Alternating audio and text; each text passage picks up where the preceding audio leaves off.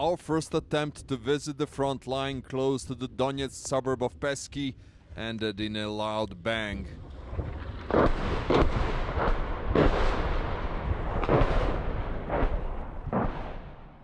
Actually, it was a series of loud bangs when we found ourselves under rocket fire by Ukrainian forces. We had to rush back to a safe area and then attempt to visit another part of the front line, which is held by the so-called Pyatnyashka International Brigade. Here is the commander, who is known as Abkhaz, suggesting his national origin.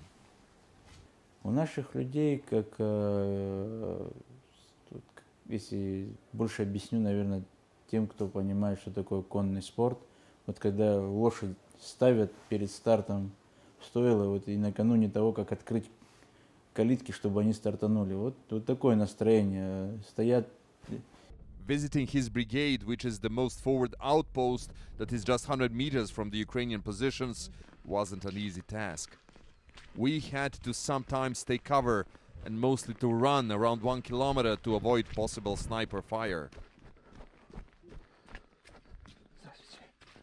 We came here maybe 10 or 15 minutes ago, uh, very close to the town of Avdiivka, which is now a hotspot of uh, well, serious fighting between the two sides.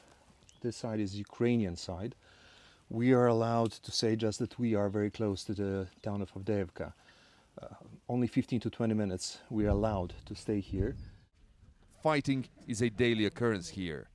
A lot of spent cartridges around this improvised outpost are the silent witnesses of that. The soldiers are not the best equipped, and they are not in their prime, but yet they are very determined they are fighting for the right cause.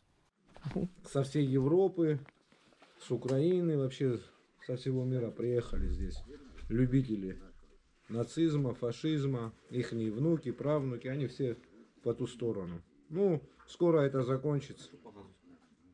В ближайшее время закончится. Добро всегда победит. Dealing with dark and harsh conditions on muddy grounds and using a coal burning improvised stove isn't affecting their morale. They remain on constant alert around the clock until fighting is over. Alyosha Milenkovic, CGTN, at the front line near Avdiivka.